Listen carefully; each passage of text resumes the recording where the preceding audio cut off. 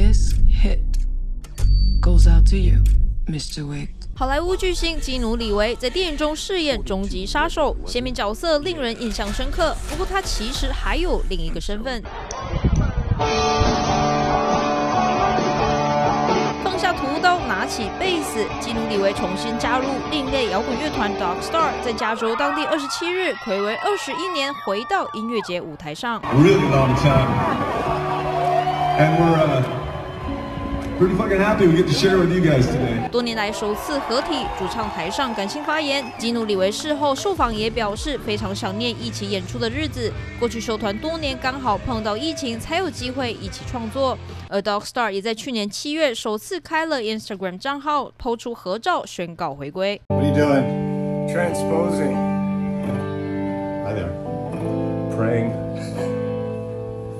Loving. 看得出来，团员之间感情相当融洽。不过，虽然难得重温旧梦，近期电影公司透露，《捍卫任务》即将要开拍续集，基努里维行程满档。Ballerina is the first spin-off that comes out next year. We're in development on three others, including John Wick 5. The world behind the world, you know, this kind of other reality.